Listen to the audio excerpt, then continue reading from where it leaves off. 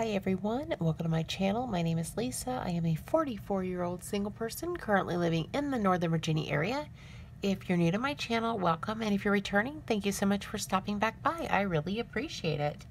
Today I'm going to go over my cash envelopes and sinking funds, and this is going to be for the week of July 5th. Okay, let me go ahead and count my money and show you guys what we're working with, and this is going to be for one week. All right, so 20, 40, 60, 70, 80, 90, 100, 110, 120, 30, 40, 41, 2, 3, 4, and 5. So 145 is what we're starting with. Let me go ahead and put my money up over here.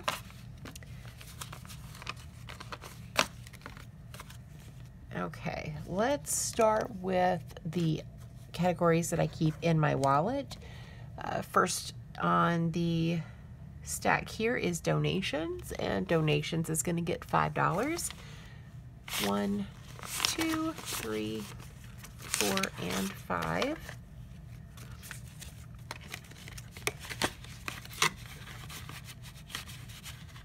Okay, so donations.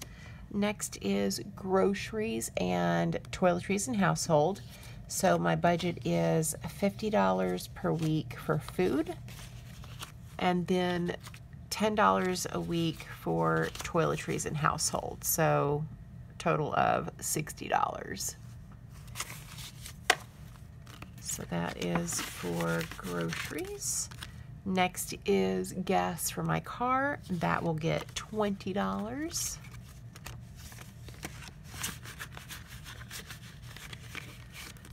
And that is everything that will stay in my wallet. Um, now, I did make a change here in the last couple weeks. My fur babies food and litter fund, which is $25 per week, is in a Capital One 360 account. All right, so let's move on to my sinking funds. I'm getting pretty down, low down on the page here, so let me scooch this up so you guys can see it.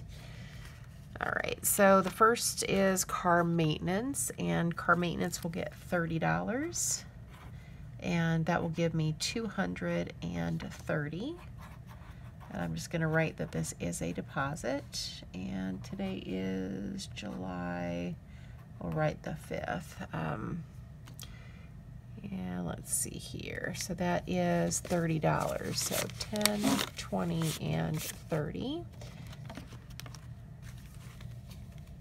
And that is car maintenance.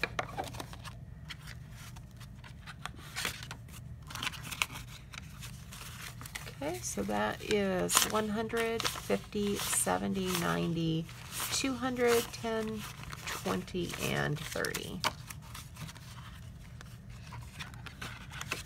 And you know what? I'm to swap out these 10s for the 20s in my groceries budget. That way I'd have larger bills in the sinking funds. All right, so that is for car maintenance. Next is uh, car insurance. And if you guys are wondering what I'm using, this is an Adams two column ledger and I use this to record my sinking funds. Any money that goes in and out of any of my envelopes, I record in this uh, book here. And then the cash envelopes that I'm using is from an Etsy, Etsy shop, uh, Sierra Crafts, and everything is linked down at the bottom. Okay, next is car insurance, and car insurance will get 20, and that'll give me 560. And we'll just write that it is a deposit. And there's 20. And that's car insurance.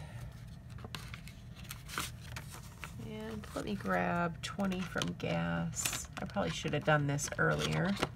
Swapped this money out, but take 20 from gas and put the 10s in here. Okay, so car insurance should have 560 And I have 100, 200, 300, 400, 450, 500, 20, 40, and 60. And I think I am going to deposit this money probably before my next paycheck because that I think my car insurance is going to be due before my next check. So that should be plenty for my premium. All right, next is car taxes and tags. I'm not contributing any money to this fund. I should have $40, and I do. I have an old car. It's a 2006 Honda Civic. Taxes and tags are really cheap on that car, and I think $40 is enough. Uh, next is Fur Babies, and this is for their shots and their nail trims, and that will get $10. And so it's 210.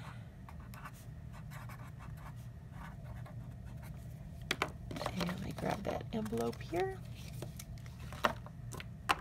So 10 for fur babies. So that is 150, 70, 90, 200, and 210.